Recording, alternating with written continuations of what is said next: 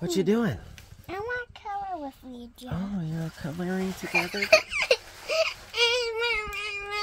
Did you get green? That's fun. I'm glad y'all can be happy about little things like that.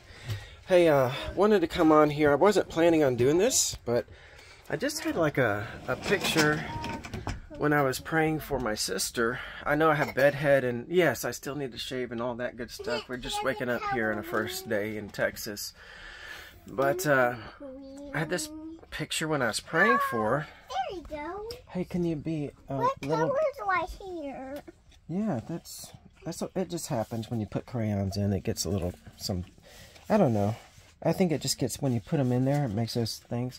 Can y'all be a little bit quiet for just a minute? Mm-hmm. Uh huh. Okay, thanks. Here, Hannah. Here, Hannah. It's mine. Um, what was I saying? So, Here, Praying for. There's three relationships, or three people rather, uh, who have interconnected relationships, and I got a picture of this. I think it was mainly for her, but many people. Um, you're going down the road or the, the path or the track, and your your um, journey seems rough, like really rough. But you know that you're going the right direction. I mean, I this could be said for for uh, for some things we experience too. I don't think it applies so much, but I'm gonna go into the uh, what I thought was the quiet, the loud room. I'm gonna go into the this room, and because it's too loud back there. But uh, it's bumpy. It's really rough. Um, sometimes, not always, but sometimes, um, relationships have gotten off track, and um, and there's some things that people need to repent of to each other. I know, yeah, the bedhead is is bushy, I know, and uh, I'm so glad to hear about reconciliation. People seeking reconciliation. You know, that's the ministry of the body of Christ. Like that's that's like our bread and butter. Like we're here on this earth to help others to find Him, to be reconciled to Him, so that their life goes smoother. You know, Jesus said, "I come that you have life, you have it more abundantly." Um, don't you want that? Doesn't everybody want that? But there's a catch. He's got to be king. You know, you got to submit to him. Got a post popping up here. Okay. Um, because he's he's like God, creator. Everything was made through Jesus. Um, so by him, through him, and for him, everything's for him. It all revolves around Jesus, and the Father found fit to make it that way. And uh, Jesus is going to be honored as King, basically King of creation here, pretty soon. Uh, he submitted to his Father. We need to submit to the Father in our relationships, even if something really hurts us. We have to give it to Him, and we have to, if there's any part that we have that was uh, not representing Him well, we have to repent. And that means, one, saying you're sorry, but having the intent not to do something again that was not healthy for you or other people too.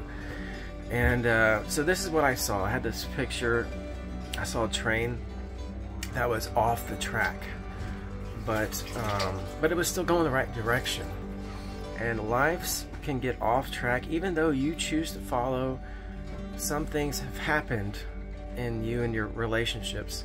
It's and it's really made it rough. And God doesn't want us to have. You know, we need to endure some things sometimes. Sometimes you can't you can't avoid situations and it's gonna it's gonna not feel so nice and, and that's what sin does and that's just sin is living not in the way that the lord has showed us to what to live sometimes it's just the wrong order sometimes it's the wrong way of things and he's got to be first in our life i'm telling you jesus has to be first he's king he's lord and you can kind of follow him but if he's not really first um, it's not gonna go as well, you know.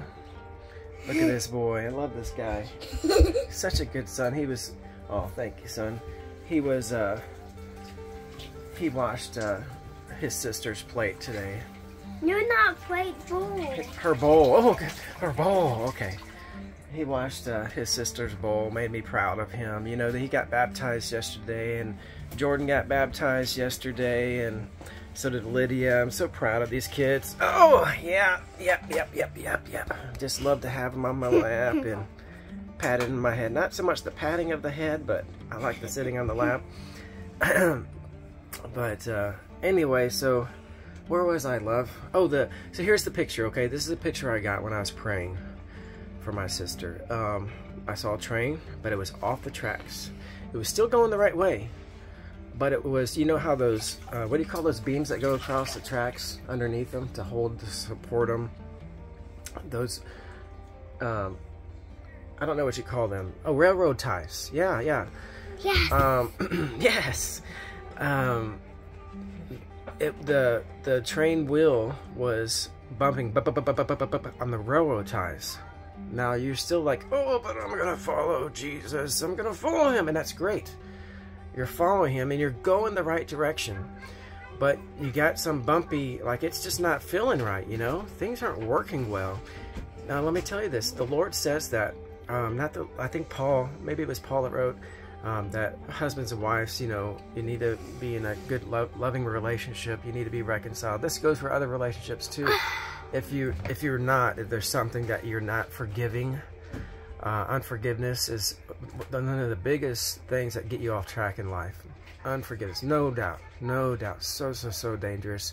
Jesus said you you need to forgive, or or I won't forgive you. The Father won't for if you choose not to forgive you're not going to be forgiven. It's really really important. David you've learned some of this too. You're learn forgive and um, but uh, so you can still choose to follow him mostly and um, but it's going to be a bumpy ride because you're bumping up on railroad ties you're on track. Now once you get off track if, if you ever had a played train set or anything once you get off that rail the tracking there uh, it's hard to get back on. You can't just turn the wheel and then just get back on. It just slides, and re you really need help. And this help comes in the form of repentance for relationships. When you do this, the Lord can intervene with you and help you lift up that train engine and everything, all of it, and then set it on the rail so you have a smooth ride. And uh, I think some people, maybe I'm sharing this because maybe there's others. You, you you need to take care of unforgiveness. Uh, I'm not saying that that was um, my sister's deal. There could be an element there, and I, and I don't just don't want to expose you know personal things, but uh, but uh, I'm just saying that that's one that I've noticed is the major one. It's a big one.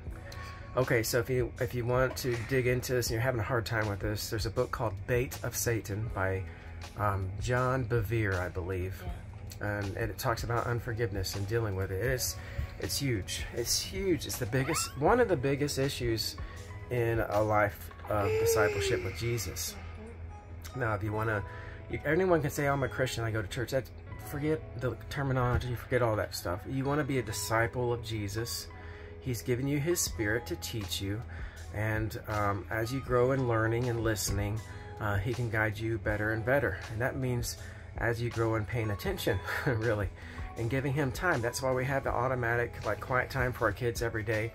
We want them to develop good personal habits so that eventually spiritual habits can grow out of that. um, so, anyway, um, just wanted to share that about the train off the tracks. That was a picture I got while I was praying. Um, so let if you have some type of relationship issue needs to be dealt with, here's what you can do. You can pray that God soften hearts.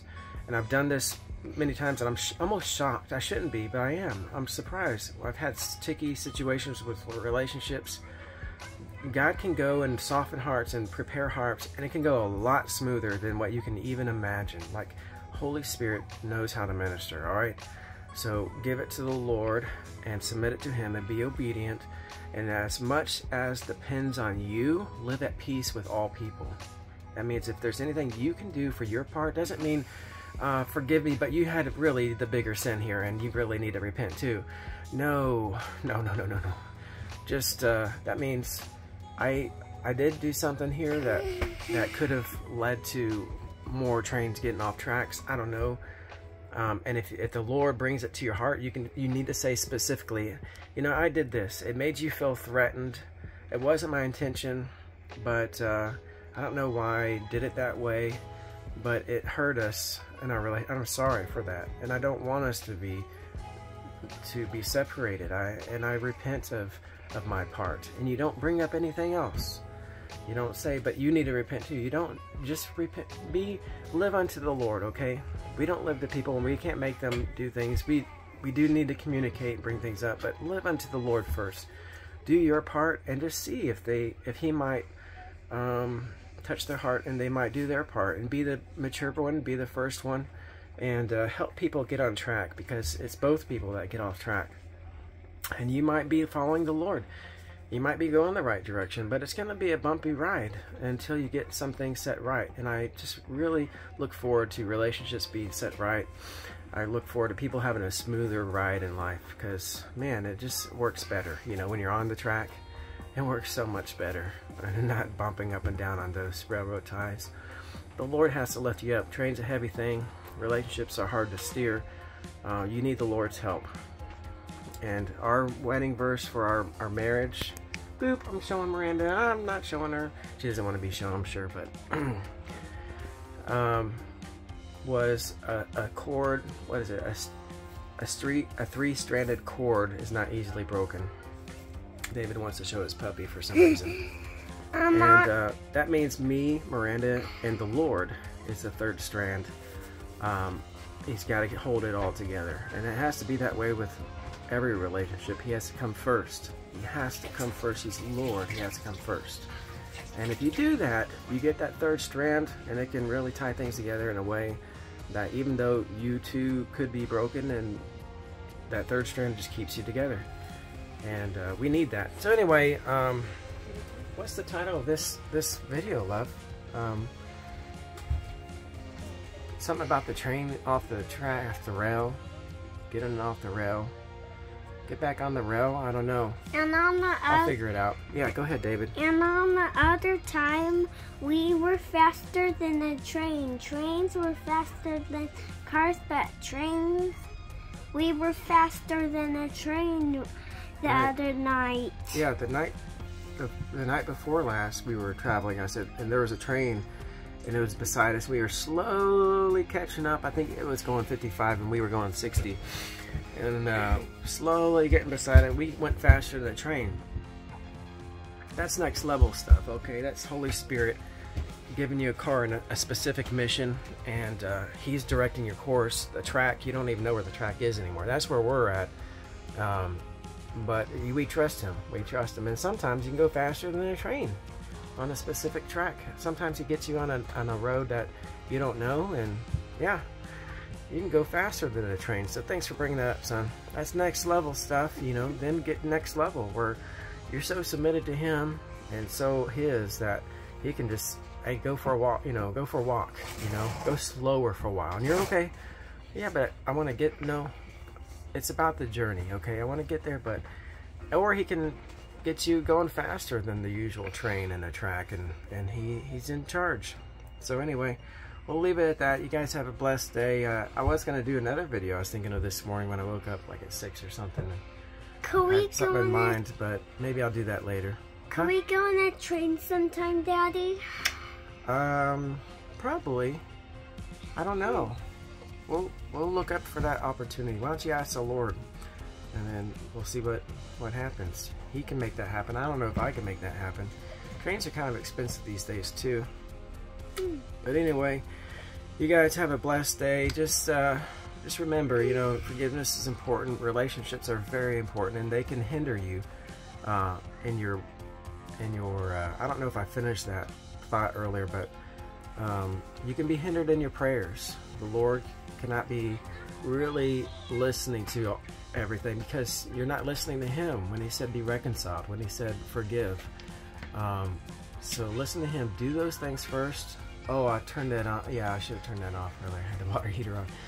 Do those things first and uh, be reconciled and yeah, things should be uh, a lot smoother from here on out. All right, There's guys. Jordan. There's Jordan. All right, guys, have a blessed day. Bye. Bye.